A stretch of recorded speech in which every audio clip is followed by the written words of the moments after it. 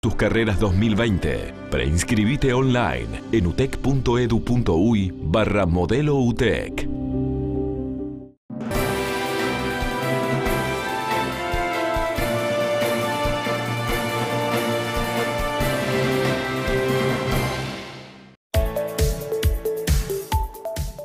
Bomberos controló un incendio cerca del Parque Lecoq que se originó este domingo sobre el mediodía. El fuego está controlado pero no extinguido. Esto quiere decir que cualquier cambio climático podría reavivar las llamas. El viernes en menos de 24 horas atacaron a tres policías y a dos le lograron robar su arma de reglamento. Los delincuentes cambiaron el modus operandi y ahora atropellan a los efectivos para robarle su arma. Los convencionales colorados votaron a favor de cerrar acuerdos con otros partidos políticos para comparecer juntos en las elecciones departamentales. La primera muerte fuera de China por el nuevo coronavirus ocurrida en Filipinas reavivó este domingo el temor a la propagación de la epidemia que ya se ha cobrado más de 300 vidas en China.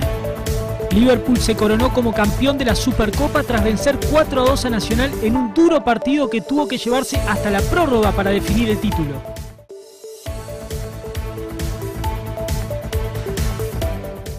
Muy buenas noches para todos, bienvenidos a la edición dominical de Red Informativa en una jornada de domingo muy calurosa que tuvimos por aquí, por la capital del país y también en todo, a nivel nacional. Esto se ha dado también en todo el territorio nacional. unas altas temperaturas que han ocasionado algunos incendios que vamos a estar detallando en unos minutos. Pero atención porque Inumet anunció un aviso por ola de calor. Ustedes lo ven allí en nuestra pantalla. Esto es hasta el 5 de este mismo mes es una masa de aire cálida que afectará parte del litoral oeste, como ustedes pueden ver allí en pantalla, y centro del país. Esto es desde la tarde de este mismo domingo.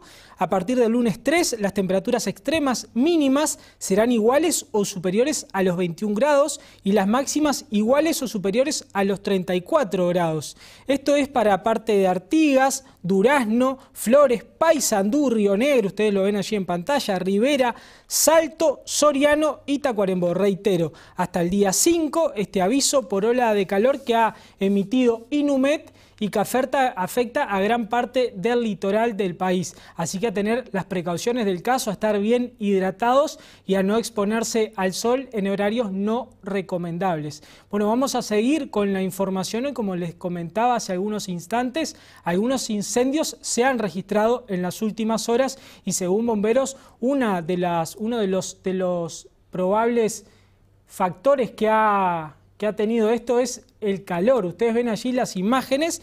Bomberos controló este incendio que ustedes están viendo en pantalla cerca del Parque Lecoq que se originó este domingo sobre el mediodía. Pese a, que desde bomberos se afirmó que el fuego estaría controlado, no está extinguido, lo que dificulta y podría generar que las llamas se avivaran si el clima cambiara y si se generara algún cambio a nivel del viento. El incendio afectó la transmisión de Radio Nacional. Ustedes van a ver ahora en algunos instantes las imágenes allí de lo que es la antena que está próximo ahí al Parque Lecoq. Y reitero, es un incendio de campo que está cercano allí al zoológico.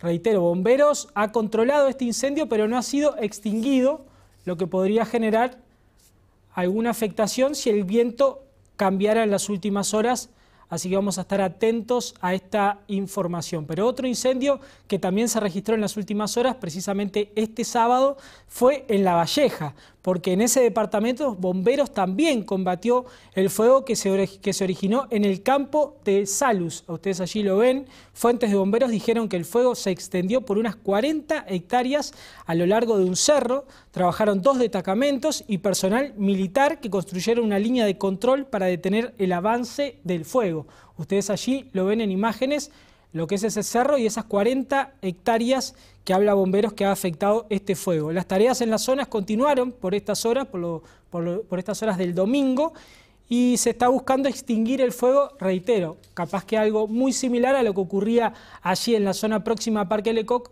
Bomberos trabaja para extinguir estos focos para que no exista ninguna propagación en caso del que, del que el viento cambie.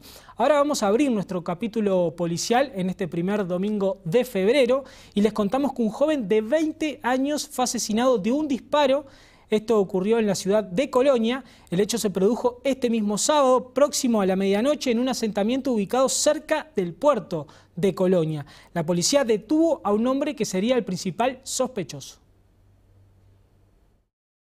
En la noche de este sábado, próximo a las 22 horas, la policía recibió un llamado telefónico informando que en el asentamiento irregular Las Malvinas había una persona herida de arma de fuego.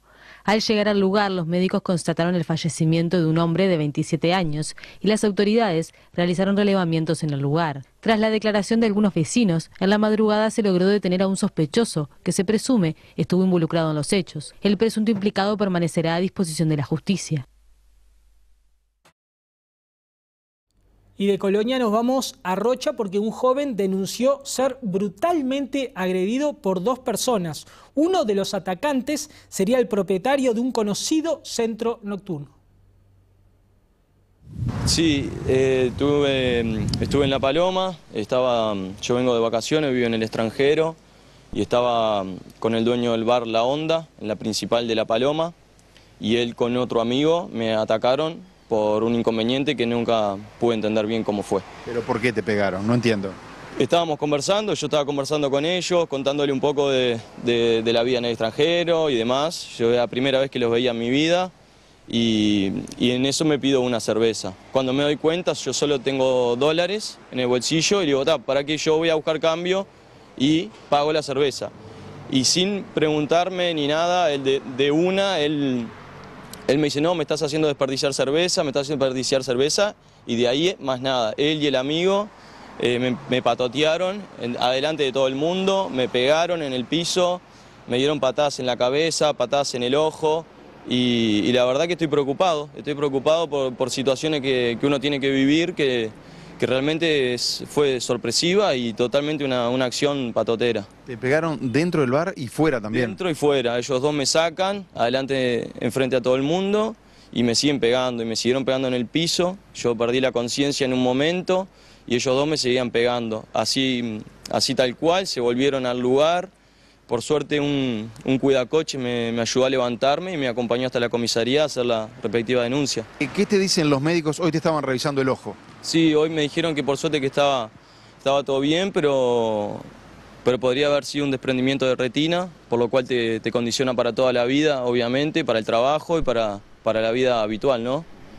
Este... ¿Tú vivís en Dubái y venís de paseo acá? Sí, yo vivo, vivo en Abu Dhabi, vivo en Emiratos Árabes, este, vengo de paseo a visitar a la familia también, este, y bueno, acá mis amigos que también tienen escuela de, de kitesurfing en La Paloma y por eso también voy a La Paloma a vacacionar. Bueno, y hay que agregar a esta información, el propietario de este centro nocturno no quiso hablar, o sea, no quiso dar imágenes a nivel periodístico, entonces nuestros colegas de Telenoche pudieron hablar con él y este hombre les manifestó que el, joven que veíamos recién en pantalla estaba en un estado de ebriedad muy intenso en esa noche en su centro nocturno, que no quiso pagar la bebida y que por eso ocurrió ese desenlace de agresión. Seguramente las autoridades estarán investigando este caso y en las próximas horas habrá más novedades. Ahora nos vamos al bañario Quillú porque investigan a dos funcionarios de prefectura alcoholizados que participaron de incidentes en la playa de ese balneario. Este domingo sobre las 3 de la mañana en la playa del balneario Quillú, como bien les decía, dos funcionarios de prefectura acudieron al lugar para apagar fogones encendidos en la zona. Esto es según el comunicado de prefectura. Los funcionarios no se ajustaron al protocolo indicado y hubo incidentes con quienes estaban en el lugar. Ustedes allí ven las imágenes verdaderamente violentas de lo que ocurrió en ese lugar. Algunos de los presentes sostuvieron que los funcionarios de prefectura estaban alcoholizados, por lo que la Armada comenzó una investigación sobre los dos funcionarios. El Comando General tomó medidas inmediatas y la fiscal de San José dispuso que los funcionarios sean conducidos a la justicia este próximo martes a las 8 horas. Ustedes ven allí las imágenes verdaderamente violentas de lo que ocurría en la madrugada en el balneario Quillú con estos dos funcionarios de prefectura alcoholizados que van a ser conducidos, como les decía, el próximo martes ante la justicia. Ahora vamos a hablar de un hecho que se dio, tres hechos en realidad que se dieron de las mismas características y que ya hemos detallado y desarrollado aquí en las diferentes ediciones informativas. Ataques a policía. Bueno, nuevamente ocurrió otro ataque a policías en la noche de este viernes y sábado. Fueron tres intentos de rapiña y a dos de estos efectivos le lograron robar el arma de reglamento. El modus operandi cambió y los delincuentes ahora atropellan a los efectivos. Próximo a las 22 horas del viernes, en Camino Paurú, esquina Luis Valleverres, en la zona Los Bulevares, una policía de 44 años, perteneciente a la seccional, descendió del ómnibus. En ese momento, la funcionaria que iba con su uniforme fue embestida por un vehículo gris, cuyos ocupantes descendieron y le robaron el arma de reglamento y dos cargadores completos. La policía sufrió una fractura en uno de sus tobillos. Otro episodio similar se produjo en la noche del viernes con un policía de la Guardia Republicana. El funcionario, de 43 años de edad, se retiraba en su moto de la sede de la unidad, ubicada en la avenida José Pedro Varela, cuando un auto lo embistió. El golpe fue de escasa entidad, por lo que el policía se reincorporó rápidamente y en ese momento el vehículo huyó del lugar. Fuentes policiales dijeron que el auto utilizado en los casos es el mismo, un Volkswagen Bora, que estaba denunciado como robado y un rato después apareció incendiado. Finalmente, en la mañana de este sábado, un policía de 44 años fue víctima de una rapiña en el barrio Maracaná. El efectivo circulaba en su moto de civil cuando fue abordado por dos individuos que lo amenazaron con un arma de fuego para que les entregue el vehículo. Antes de que los delincuentes huyeran, la víctima se identificó como funcionario policial y se produjo un tiroteo. Estos tres casos se suman a otro registrado este viernes, donde una mujer policía fue rapiñada en Punta de Rieles. La funcionaria fue abordada por un individuo en bicicleta mientras esperaba el ómnibus. El desconocido la amenazó y le robó efectos personales y también el arma de reglamento. En esa circunstancia, el delincuente efectuó un disparo que hirió en una mano a la policía. Y continúa la intensa búsqueda de un joven que desapareció en aguas de la playa del Pinar algunos días atrás habló el hermano de este desaparecido y agradeció el trabajo de prefectura. Brian Nicolás Canavesi Juárez estaba en la parada 37 de la playa de El Pinar porque allí vendía tortas fritas. Tras la jornada laboral próxima a la hora 18 y antes de irse para su casa, decidió ingresar al agua con sus primos. Si bien no sabía nadar, su familia deja en claro que ingresó hasta que el agua le daba por la cintura. A las 6 de la tarde, fue una jornada larga, decidió tirarse al agua. Este, el, mar, estaba bastante picado, no había bandera roja como se dice en muchos lados. Este, él estaba a 250 metros de la casilla y, estaba con el agua por la cintura. De repente él no sabía nadar, se metió hasta la altura la cual él podía o especulaba que podía salir. Llegado el momento, me están saliendo, a eso de las 6 y 20 de la tarde, 6 y cuarto más o menos. Este, sale mi primo primero, sale mi prima y por último queda Brian atrás. Este, y bueno, esta playa bastante, bastante extraña, digo, como que te atrae, las olas llegan y se van. Estaba muy picado ese día al mar. Y en un momento como que no pudo salir, le pegó el grito a mi prima y los guardavidas ya estaban súper atentos. Este, como te digo, él estaba a 250 metros, no estaba a 500 tampoco, estaba bastante lejos.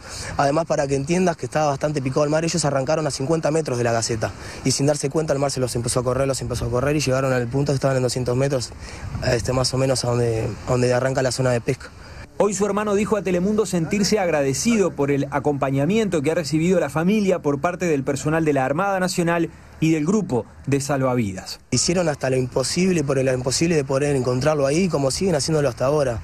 Todos los salvavidas, no, tengo palabras para agradecerle a la prefectura, hicieron un trabajo excelente, el cual siguen haciendo.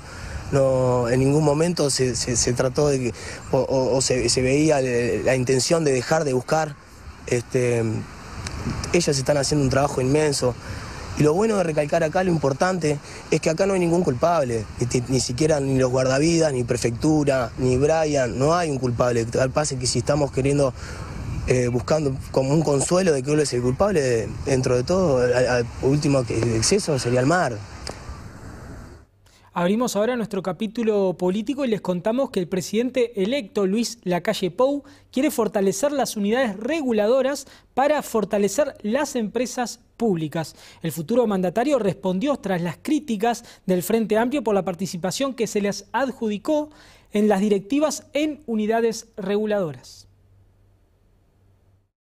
Varios artículos del anteproyecto de ley de urgente consideración referidos a las empresas públicas, como el 192, que deroga el monopolio de ANCAP para la importación, exportación y refinación de petróleo crudo y derivados, dan a la URSEA funciones vinculadas al nuevo funcionamiento, lo que en algunos casos implicará más potestades. El presidente electo explicó la intención detrás de esos cambios y de su plan de gobierno nosotros queremos fortalecer las empresas públicas. Por eso, entre otras cosas, vamos a fortalecer las unidades reguladoras.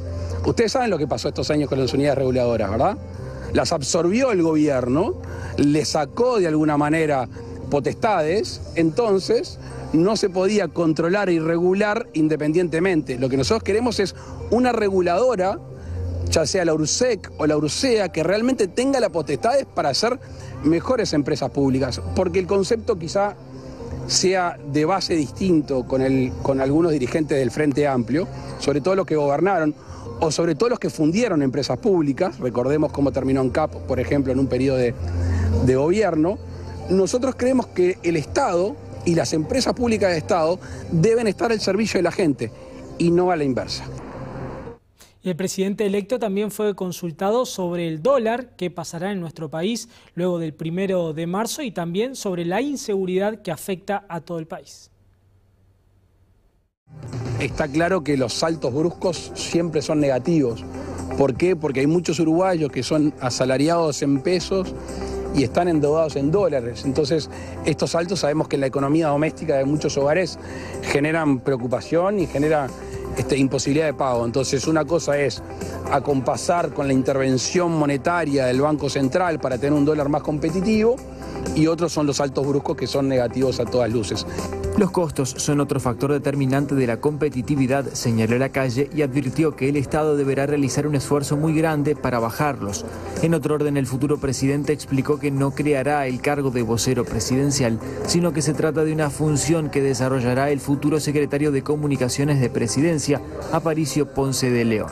El futuro presidente también opinó que se deben hacer modificaciones, apenas mínimas, para dar señal de que algunos delitos se castigan debidamente y reiteró que el 2 de marzo reunirá a los jefes departamentales de policía para darles instrucciones claras. Y las instrucciones claras es defender a los uruguayos que hacen las cosas bien. Y es claramente tener un despliegue estratégico y táctico a lo largo y ancho del país. La, la tolerancia sobre hechos eh, que hoy de alguna manera están siendo no sé si el, término es aceptado, pero por lo menos no perseguidos, no va a pasar más. Y tiene que haber un mensaje bien claro a la delincuencia.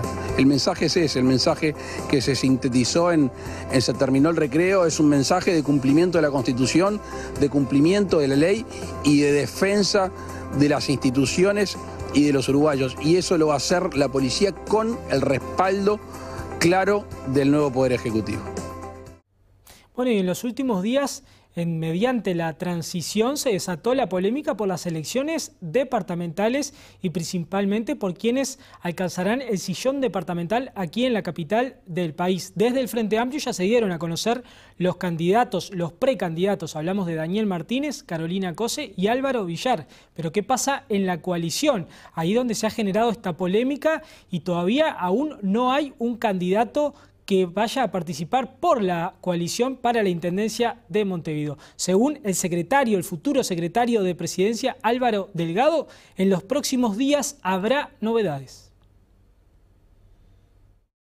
Todo el día, todas las horas, en la búsqueda de, con este objetivo, conseguir el o la candidata para la Intendencia de Montevideo que represente ya no un partido político, sino a la coalición de gobierno. ¿Cuáles son, mucho de la... ¿Cuáles son los nombres que maneja el Partido Nacional? Parte... La calle Pau dijo que tenía un nombre guardado. No, eh, son varios los que manejamos. Lo que pasa es que parte de este proceso para que sea exitoso también pedimos ser prudencia en el manejo, prudentes en el manejo de los nombres a nivel público. Seguramente en los próximos días vamos a tener novedades, pero bueno, comprenderán que para, para que termine llegando a buen puerto estas opciones que se manejan, eh, no lo vamos a manejar por la prensa. Bueno, y desde el Partido Colorado, el futuro canciller de la República, Ernesto Talvi, dijo que su partido tiene más de un nombre para sugerir y que apoyará el lema que elija la coalición.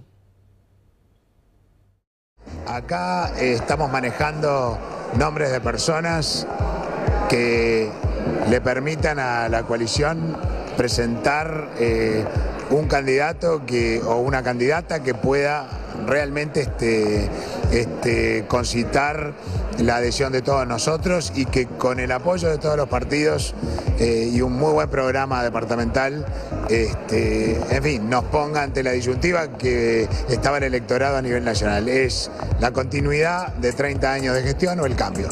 Talvi agregó que hay un intercambio permanente entre los socios de la coalición de gobierno para definir un posible candidato común y que el presidente electo está muy activo en ese proceso. Yo creo que a más tardar a principios de la semana que viene esto tendría que estar definido, sería lo deseable, no tenemos que llegar al filo de la navaja. Bueno, ¿y qué pasa del lado del Partido Colorado? Seguimos en el Partido Colorado. El secretario general Julio María Sanguinetti dijo que quiere instalar la idea de cambio aquí en la capital del país, pese a quien sea el candidato. El presidente planteó la competencia electoral de Montevideo de la misma manera que planteó meses atrás la competencia electoral a nivel nacional. No me preocupa si el candidato común va a ser Juancito o Pedrito, no me preocupa. Acá es el tema, la continuidad, es decir, vamos a seguir con los gobiernos frentistas, vamos a seguir con el pequeño comercio eh, devastado por los impuestos, vamos a seguir con los, los sofás supermillonarios que tergiversan las viejas plazas de la ciudad vieja, vamos a seguir con toda esta mediocridad, o vamos a intentar un cambio. Sin un candidato definido, los convencionales colorados votaron y habilitaron al Ejecutivo Nacional a buscar acuerdos con otros partidos políticos para comparecer juntos en la elección departamental de Montevideo y eventualmente abstenerse de presentar candidatos a la Intendencia y los municipios. En las últimas horas resurgió el nombre de Pedro Bordaberry como un posible candidato de la coalición. Evidentemente Pedro Bordaberry hoy está en un proyecto de vida distinto, del cual han informado ustedes últimamente, eh, en un proyecto deportivo vinculado al Manchester City, de modo que desgraciadamente hace tiempo, no ahora, no ahora específicamente, de modo que él está en otra cosa. El candidato, según Sanguinetti, debe representar voluntad de cambio en Montevideo. Yo espero que encontremos todavía un candidato que nos representa, digno, honorable, no, no va a ser el experto en el municipio como tampoco lo son los otros candidatos, ¿no? O la mayoría de los otros candidatos, o algunos de los otros candidatos. El tema es una figura que pueda representar esa voluntad de cambio y que con el equipo que se forme pueda cambiar esos parámetros básicos de una intendencia cara e ineficiente. Bueno, y cambiamos de tema ahora y nos vamos al departamento de Rivera. La creadora del Rivera Brilla denunció a la intendencia de ese departamento de patentar una idea suya. Yo soy la, autora del proyecto Rivera Brilla en diciembre. Lo, patenté en 2016 y lo ejecuto, esta fue la cuarta edición en 2019, enseñando las técnicas y capacitando a mujeres y así trabajando para que, hacer Rivera brillar. Y resulta que por, por detrás mío vengo, mi abogado se entera que él está patentado a nombre de la Intendencia el 21 de noviembre de 2019, siendo que yo ya lo había patentado años atrás para explicarlo, ustedes trabajan con material reciclable, ¿es eso lo que hace el proyecto? Sí, el proyecto comenzó así. Eh, usamos el primer año unas 32.000 botellas para la decoración de la ciudad y ahora hay otras cosas que incrementaron como luces y todo eso. Adornamos tres plazas y toda Avenida Sarandí y Presidente Viera. ¿Intentaste hablar con las autoridades de la Intendencia de Rivera? Intenté hablar antes de que ocurriera esto, desde el 27 de octubre creo que le mandaba mensaje al, señor intendente y, no, obtuve ninguna respuesta de él. Y bueno, ahora busqué los medios porque es una cosa que es mía, toda Rivera sabe Yo trabajo en pro de la comunidad también, eh, ayudando a mujeres. Empecé trabajando en la ONG gratuitamente, después fui contratada por este proyecto que yo se lo llevé al intendente, no fue él que vino atrás mío, fui yo que se lo llevé. Entonces, es lo justo. No puedo dejar que ahora, como es una marca y es un proyecto conocido ya, eh, me lo saquen. Y nos vamos al este del país ahora porque en Maldonado fueron recaudados unos 320 mil dólares para el Hemocentro Regional. Feliz, feliz, ustedes estuvieron acá acompañándonos toda la noche, feliz y agradecido eternamente por todo lo que hemos vivido con la familia Groscov, con el futuro presidente, el doctor Lacalle Pou, que fue el que realmente nos dio la posibilidad de contactarnos con Sergio en su momento.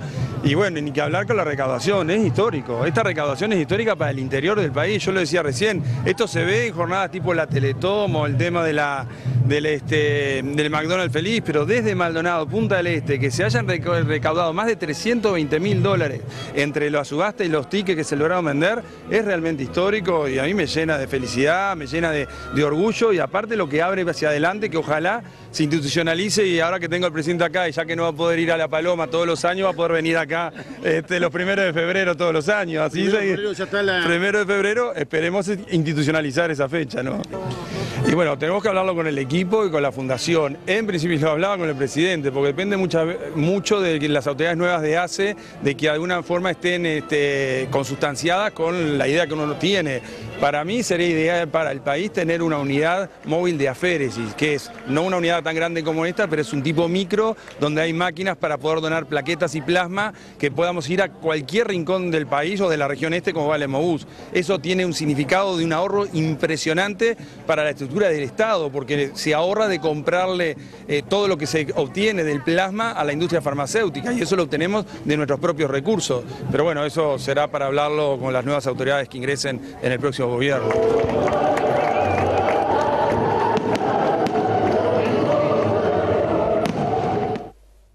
Bueno, y es momento de hacer nuestro primer alto en la información, pero antes les traemos esta linda postal que nos alcanza nuestro amable director.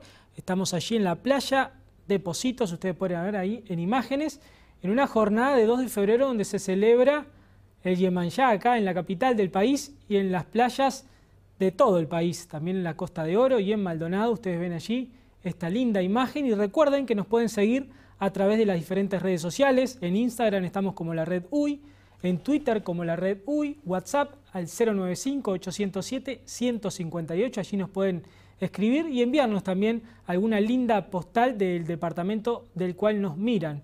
También en Facebook estamos como la red TV y en nuestra página web www.redtv.uy Allí nos pueden buscar y seguir en vivo en nuestra transmisión por streaming. Hacemos una pequeña pausa y enseguida regresamos con más red informativa. Quédense allí.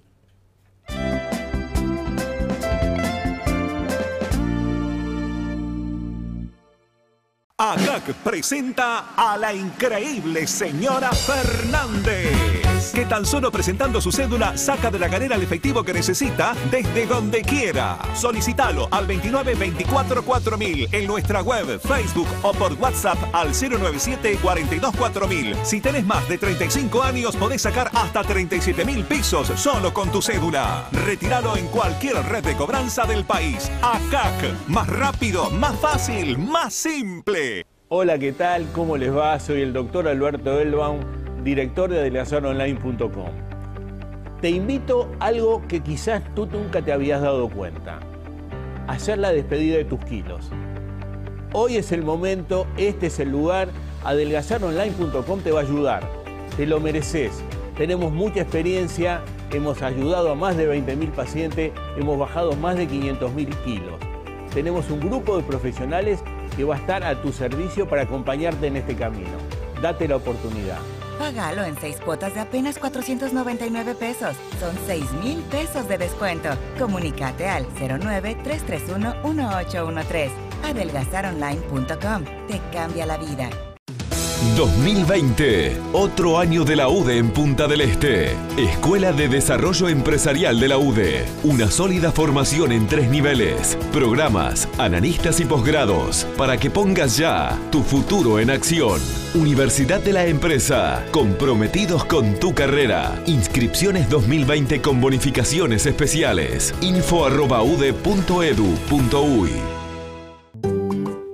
país presenta la colección Toy Story 4. Llegan los personajes preferidos por todos. 13 libros acompañados de 13 muñecos y una super lata para coleccionar a tus fieles amigos. Woody, Buzz Lightyear, El Señor Cara de Papa, Rex, Tiro al Blanco y muchos más. Pedísela a tu canillita a partir del martes 11 de febrero y cada 15 días con el país, más cupón, más 290 pesos. Hasta agotar stock. Si sos socio del Club El País y querés la colección completa, pedila llamando al 2900 4141 o a través de www.clubelpaís lo que esperabas llegó a Freiventos. Más food. Comida rápida. Diversas opciones con un mismo diferencial. Materia prima de excelente calidad. Las marcas más reconocidas del mercado se unen en Más Food para brindarte un servicio único. Calidad al mejor precio. Los esperamos en 18 de julio y Bolier. Freiventos. Más Food. Felices de recibirte.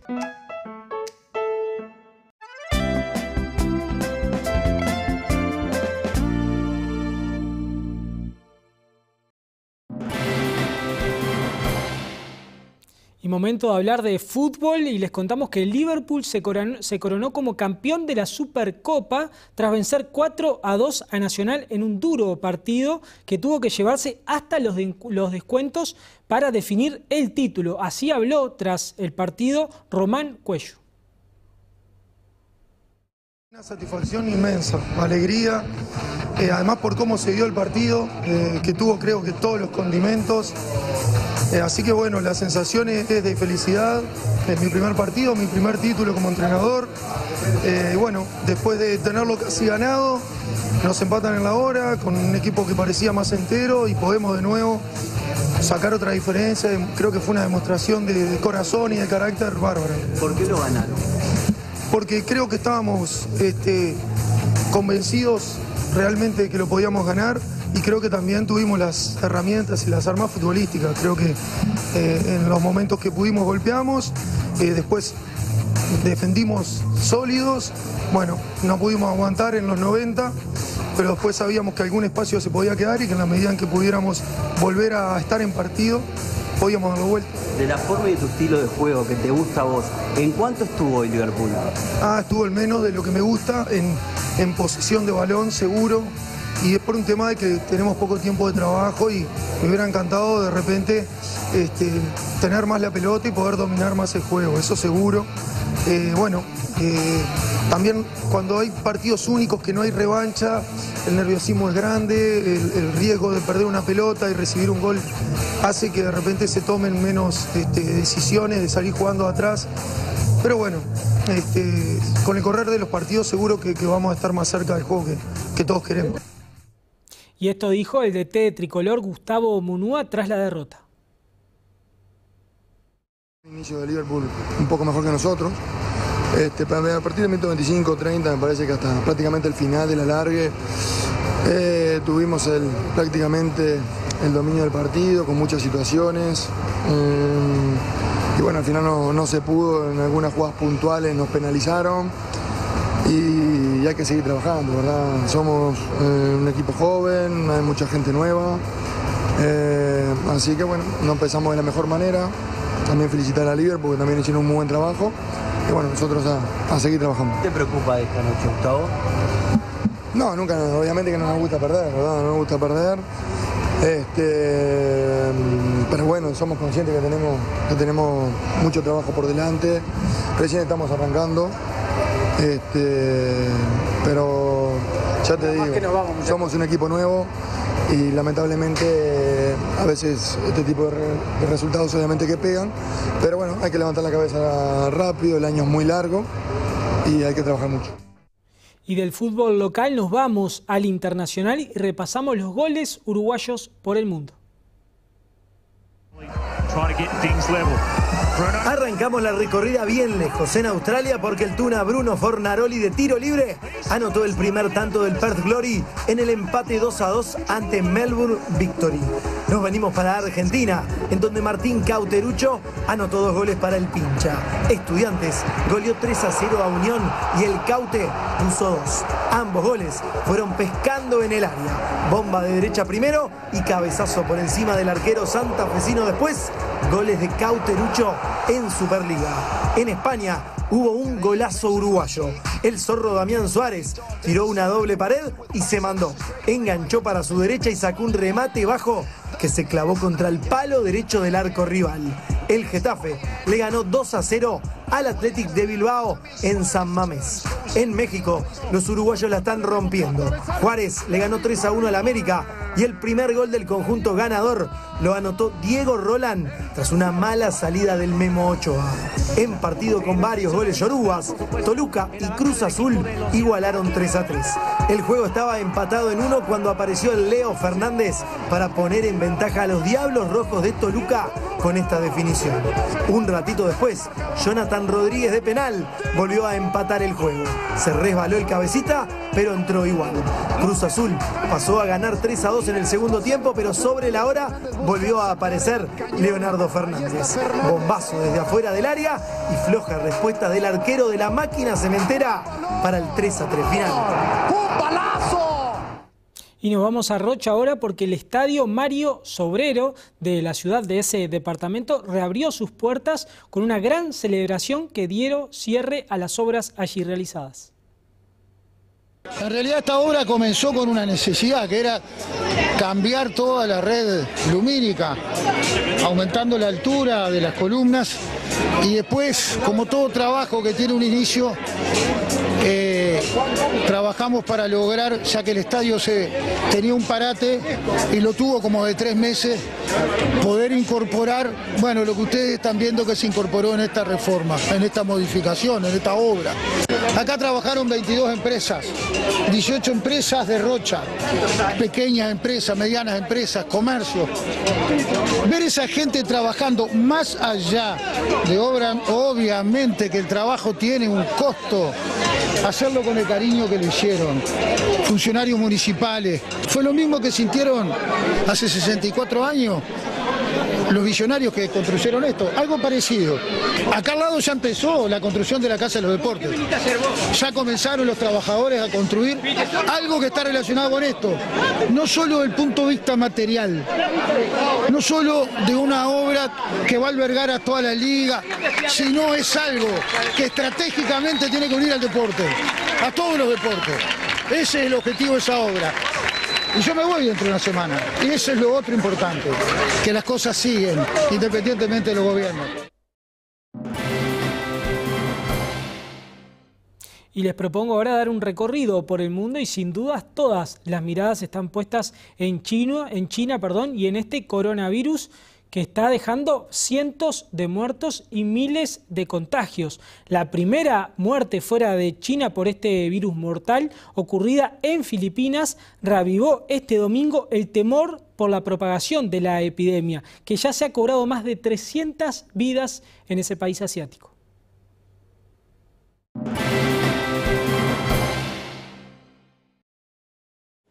Según la Organización Mundial de la Salud, Filipinas anunció el domingo el fallecimiento en Manila de un hombre chino oriundo de Wuhan, epicentro de la epidemia, y es la primera muerte registrada fuera de China por este virus, que ya afectó a más de 14.000 personas. Este anuncio tuvo lugar mientras numerosos países, entre ellos Estados Unidos, Australia, Nueva Zelanda e Israel, cerraron sus fronteras al ingreso de viajeros provenientes de China, en un intento por limitar su exposición a la epidemia. El virus ya ha alcanzado más de una veintena de países, incluyendo España, el Reino Unido, Alemania, Rusia y Suecia, mientras que África y América Latina parecían de momento exentas de la epidemia. En América Latina, los gobiernos de Guatemala y El Salvador ya suspendieron el ingreso a su territorio a procedentes de China. La muerte en Filipinas fue anunciada justo después de que en Manila se decretara el cese inmediato de la entrada de todos los visitantes extranjeros desde el gigante asiático. Numerosos países como Estados Unidos, Japón, España, Francia, India, Alemania, Colombia e Italia fletaron aviones a China para repatriar a sus ciudadanos o prevén hacerlo pronto. Este domingo un avión francés que regresaba a Wuhan transportaba a ciudadanos de varias nacionalidades, coordinado por las embajadas de cada país. Bueno, y en la edición dominical pasada, o sea, hace siete días, les hablábamos y les adelantábamos que China estaba construyendo, estaba iniciando la construcción de un nuevo hospital para tratar a los pacientes con contagios sobre este virus. Bueno, diez días después, este hospital ya está pronto el alcalde de la ciudad donde se inició el coronavirus entregó este domingo al personal médico del Ejército Popular las llaves del nuevo hospital que fue construido en apenas 10 días para dar respuesta a la alerta sanitaria del coronavirus. El lunes, mañana, ingresarán los primeros pacientes. Este domingo se conocieron las imágenes de su construcción, así ustedes lo, estamos compartiendo con todos ustedes. Un hospital con mil camas que se levantó en tan solo 10 días, como les adelantaba. Decenas de grúas han trabajado día y noche junto a, junto a miles de obreros montando piezas. Hay un dato muy importante, escuchen bien, lo que dicen los especialistas es que no se utilizó ninguna técnica en especial ni tecnología que no se utilice en otras construcciones de grandes dimensiones, sino que los chinos son expertos en imitar y acortar tiempos. Esta es la, la explicación que dan para la construcción de este hospital con mil camas en tan solo 10 días. Y seguimos en este tema porque en Hong Kong se cerraron algunas fronteras con China y se declaró la alerta máxima ante el ascenso del coronavirus. Cientos protestaron contra la decisión del gobierno de convertir un hotel en un refugio para personas que tuvieron contacto con infectados por el coronavirus. La jefa del gobierno local, Carrie Lam, indicó que se elevó el nivel de alerta máximo, así como el cierre de escuelas y centros universitarios, además de la suspensión de eventos públicos que implican el riesgo de contagios del peligroso virus. Nos autorizaron limitaciones en los vuelos aéreos, pero sí se ordenó el cierre de la frontera para contener la enfermedad. Pero algunas de las medidas adoptadas por el gobierno están siendo rechazadas por la población por el aumento al temor de la propagación del virus. Hong Kong es una de las ciudades más densamente pobladas del mundo, con condiciones perfectas para que las epidemias se extiendan con mucha rapidez.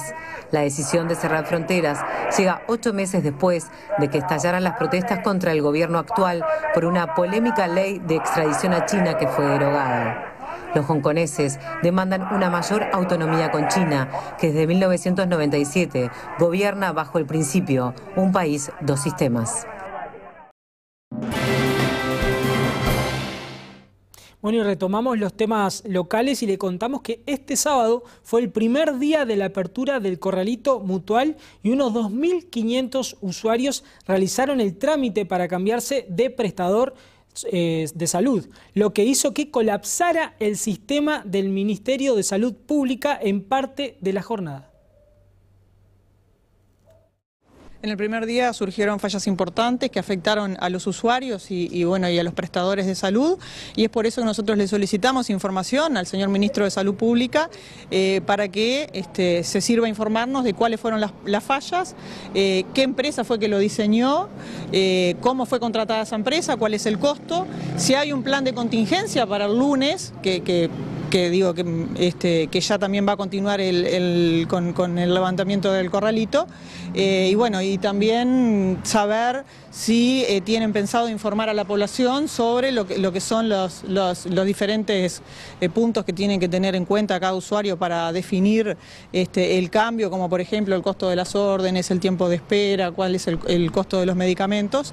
Eh, ¿Usted cree que hubo una falla, sí, pero fue una falla como esas que pueden ocurrir en un sistema informático o hay algo más acá? Bueno, eso es lo que nosotros queremos saber. Este, el, MORE, que es la, movilidad regulada, sin duda que tuvo esta falla que, que mencionamos y, bueno, fue una falla importante que afectó a los usuarios y afectó a los, a los prestadores.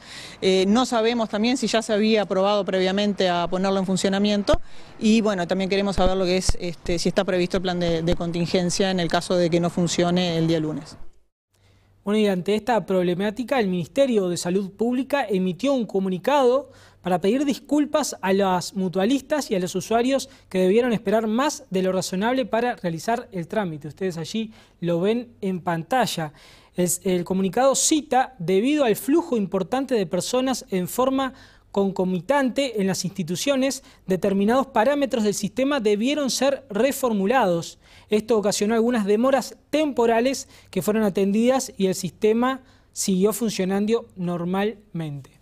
Este fue el comunicado que emitió Salud Pública luego de conocerse estos problemas que habían tenido algunos usuarios y algunas mutualistas en el primer día, en la primera jornada del corralito mutual. Bueno, vamos a seguir hablando en temas de salud, pero una polémica se podría llamar. La Federación Médica del Interior rechazó los dichos de Mujica sobre el colectivo médico del país. El expresidente dijo días atrás que se precisan más médicos que no se dediquen a juntar plata y a comprar estancias.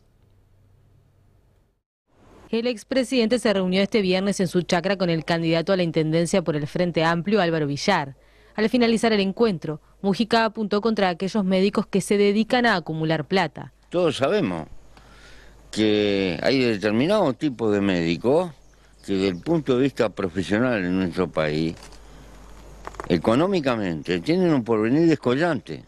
Y precisamos gente que no esté pensando solo en el bolsillo, que esté pensando en la de él, que piense un poco en los demás. Y sobre todo los médicos que no, se dedican a acumular plata y comprar estancia, sino médicos que se preocupan por la gente. Esto molestó al Sindicato Médico del Uruguay y al Sindicato Anestésico Quirúrgico, que salieron al cruce de las declaraciones de Mujica. El sindicato médico cuestionó los dichos estigmatizantes y generalizadores que acusan a los profesionales médicos de posturas morales que no los identifican. Ni el compromiso social ni el humanismo son rarezas a destacar entre médicos, son inherentes a nuestra profesión. Brindar cada día la mejor calidad de asistencia a la población es la tarea que como colectivo nos une y nos desvela, señala el comunicado, que agrega que expresiones como las del expresidente entristecen y preocupan porque no desconocen su rol como formador de la opinión pública. En tanto, el sindicato de anestesistas expresó su más profundo rechazo a los dichos de Mujica, que a su entender desconocen la enorme vocación de servicio de los médicos y los denigran ante la opinión pública, favoreciendo las actitudes de violencia y resentimiento. La Federación Médica del Interior, por su parte, cuestionó los dichos del expresidente y pidió su retractación pública. Bueno, y se lo mencionaba hace algunos minutos, como cada año, este 2 de febrero, miles de personas colmaron las playas uruguayas para celebrar a Yemanjá, la diosa del mar. Para el afroumbandismo verde, la de este año es una celebración muy especial por la remodelación del área donde se encuentra el monumento a esta diosa del mar. Ustedes allí están viendo las imágenes de algunas de los que son las ofrendas que los creyentes llevan así hasta las costas uruguayas, también presencia de miles de curiosos en estas ocasiones. Cada año son más quienes se acercan el 2 de febrero para dar ofrenda a la diosa del mar. Asimismo, cada año el cuidado del medio ambiente también es clave durante la celebración. Esto es porque, bueno, cada una de esas ofrendas que, se, que, los, que estos creyentes dan a la diosa están hechas, están creadas con, con elementos que cuidan el medio ambiente y bueno, la Intendencia de Montevideo ya está trabajando en lo que será la jornada de limpieza de la costa en el día de mañana. Bueno, ahora les propongo conocer cómo abrirán las principales monedas este lunes. Viví grandes momentos con tu tarjeta American Express de Scotiabank. No vivas la vida sin ella. Dólar a la compra 36,81, 38,31 a la venta. El euro 39,81, 43,67. El real 8,27, 9,57. Peso argentino 0,27, 0,79 a la compra y a la venta respectivamente. La unidad indexada 4,367 y la unidad reajustable 1198,78. Pone mucha información que tiene que ver con las actividades a nivel turístico que hay en el país. También hay más información sobre esta celebración de la diosa del mar. Todo eso en nuestro último tramo en Red Informativa. Hacemos una pequeña pausa.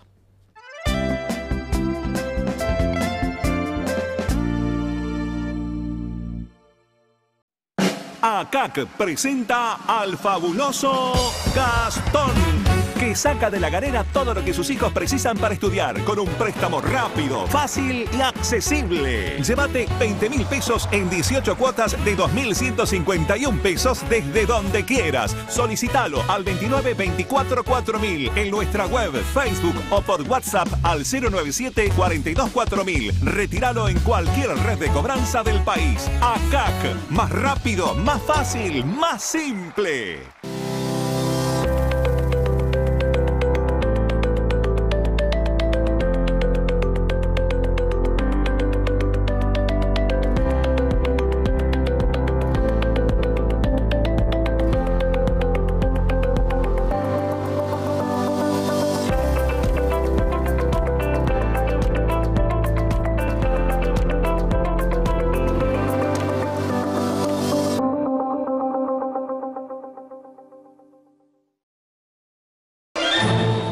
Escuela Mapá comienza nuevo periodo de inscripciones. Gastronomía, turismo, hotelería, agroveterinaria, producción equina, operador de retroexcavadoras, gestión agroganadera, técnico en refrigeración y aire acondicionado. Hay más de 100 cursos. Consulte la web o llame 2409 1515 de Mapa Tres Cruces.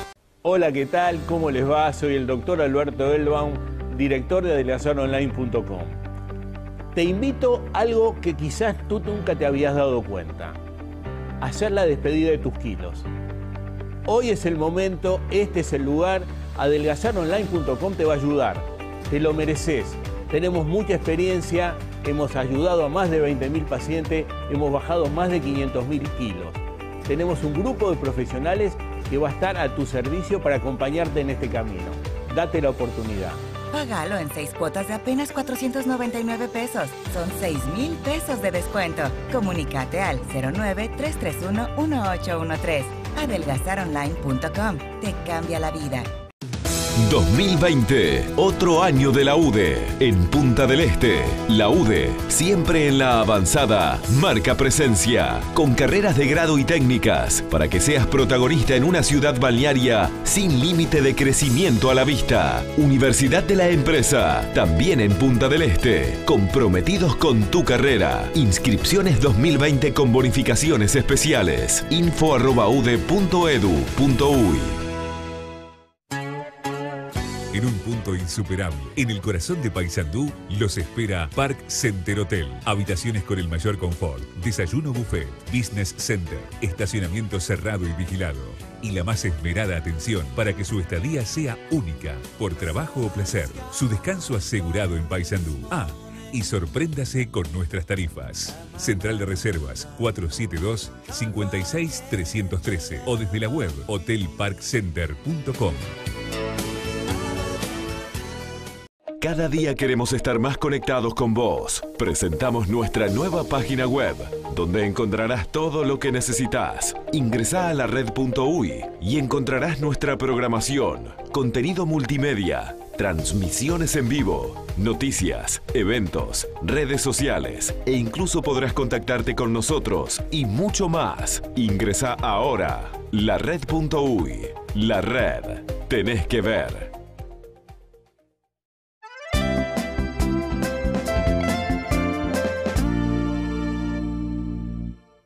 Bueno, y como se los mencionaba, se está eh, realizando, se está celebrando aquí en la capital del país y en las costas de todo el Uruguay esta celebración a la diosa del mar Yemanjá. Bueno, esta celebración trae a miles de curiosos y miles de creyentes y genera un espacio comercial para algunos artesanos.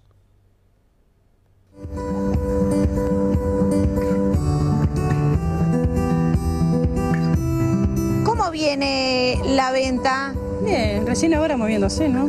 Obviamente, sí. Mucha calor, mucha calor. ¿Cuánto tiempo le lleva de trabajo hacer estas barcas? Y en el día más o menos haré tres, más o menos. Lleva, ¿Cuántas lleva su tiempo. ¿Cuántas hizo para vender hoy?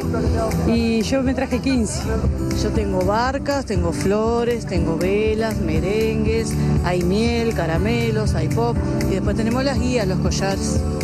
Porque a Yemanjá le gustan las cosas dulces, tengo entendido. Sí, sí, me parece que sí. Yo mucho de la religión respeto, pero no, no entiendo mucho, vengo solo a vender.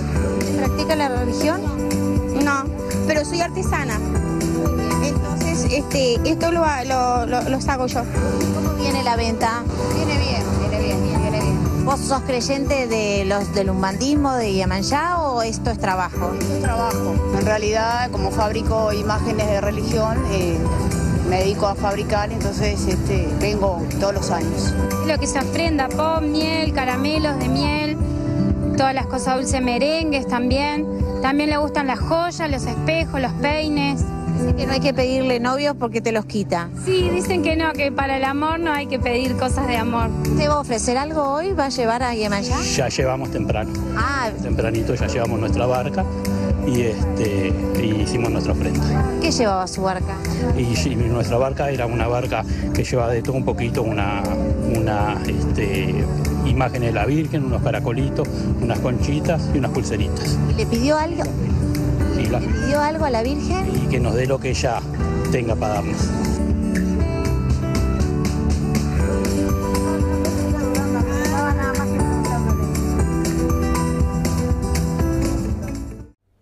Y a las 23 horas en punto, estas son tres de las noticias más importantes por estas horas.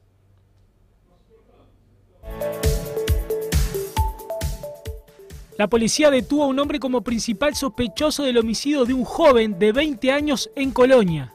El hecho se produjo este sábado próximo a medianoche en un asentamiento ubicado cerca del puerto de ese departamento. Durante el primer día de apertura del corralito mutual, unos 2.500 uruguayos realizaron el trámite para cambiarse de prestador y ya hubo polémica. El sistema colapsó, según el Ministerio de Salud Pública, por la gran demanda. Como cada año, este 2 de febrero, miles de personas colmaron las playas uruguayas para celebrar al Yemanjá, la diosa del mar.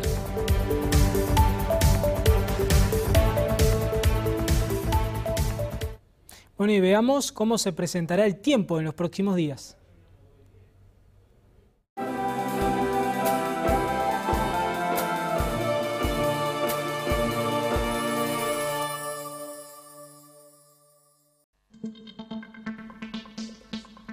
Hoy de noche estará templado el cielo claro y algo nublado. La temperatura mínima será de 22 grados. Mañana lunes se presentará algo caluroso el cielo, algo nublado y parcialmente nublado. Las temperaturas extremas previstas oscilarán entre los 18 grados la mínima y 35 grados la máxima.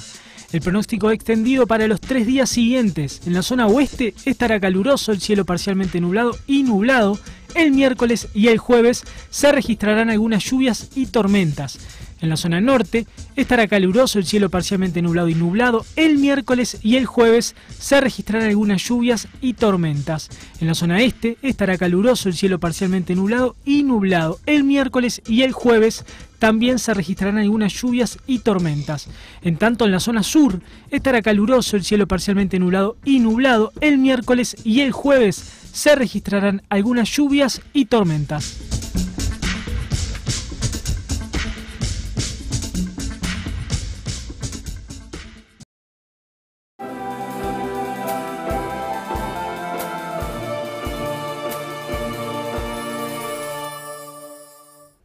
Y hasta aquí la información por estas horas. Recordarles este aviso de Inumet por ola de calor que rige hasta el 5 de este mismo mes. Esto es para el litoral del país. Hablamos de Artigas, Durazno, Flores, Paysandú, Río Negro, Salto, Soriano y Tacuarembó. A tener las precauciones del caso para aquellos que tengan que realizar tareas expuestos al sol, hacerlos en los horarios indicados y a estar bien hidratados por esta ola de calor que vamos a tener por los siguientes días. Los invito a que continúen en la pro programación de la red y toda la información regresa a 13.30 con nuestra compañera Verónica Amorelli. Que pasen muy bien.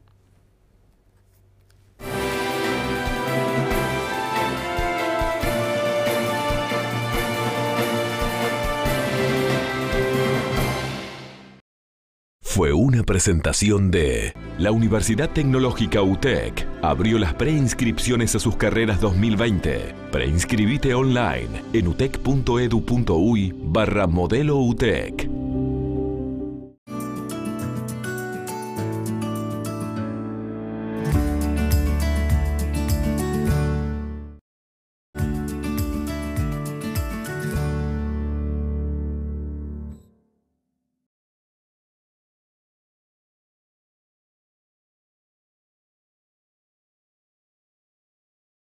Llegó el nuevo Skip Evolution con fórmula concentrada. Ahora un pack de 1,8 kg rinde los mismos lavados que 3 kilos de la fórmula anterior, dándote un cuidado superior